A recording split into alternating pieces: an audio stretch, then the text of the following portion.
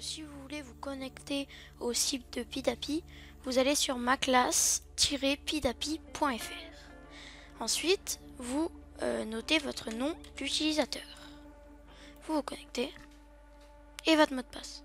Vous connectez.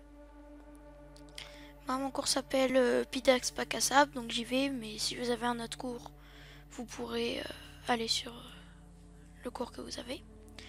Ensuite, ici, vous avez des mots, des phrases, des textes, des calculs, de la géométrie, des grandeurs à mesure et des nombres.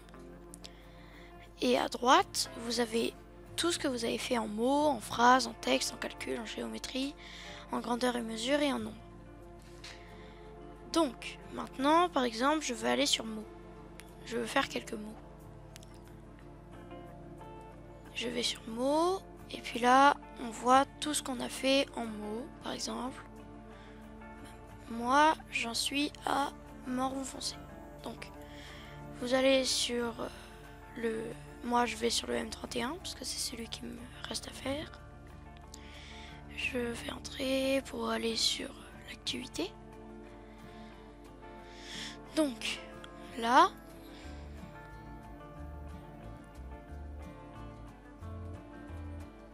Ah oui. Là, donc, il y a trois mots. Pour l'instant, je n'ai pas débloqué les deux autres parce qu'il faut que je fasse le 1 en premier.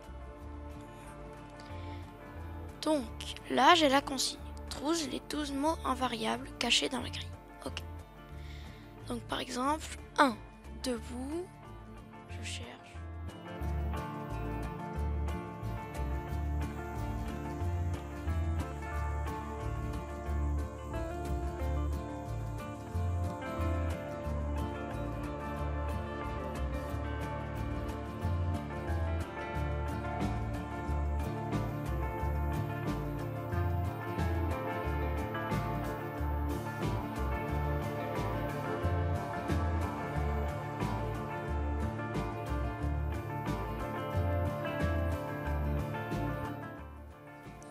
Donc là, j'ai fait tout le tout l'exercice. Bravo, euh, d'accord, ok. Il faut faire revenir et back to, to overview. Si vous faites retour à marron foncé, ne, ouais, ça comptera pas vos, vos mots que vous avez fait. Donc là, je fais le deuxième. Donc euh, là, donc j'ai fait, là c'est l'exercice 3 de, du marron foncé. Donc euh, j'ai tout fait et là je, clique sur le cadre. Bam. Bravo, tout est correct. Ok. Je fais euh, back to overview toujours.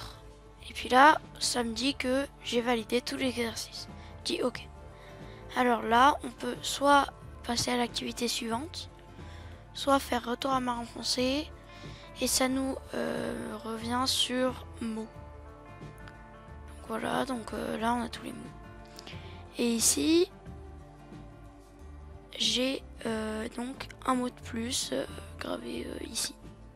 Voilà.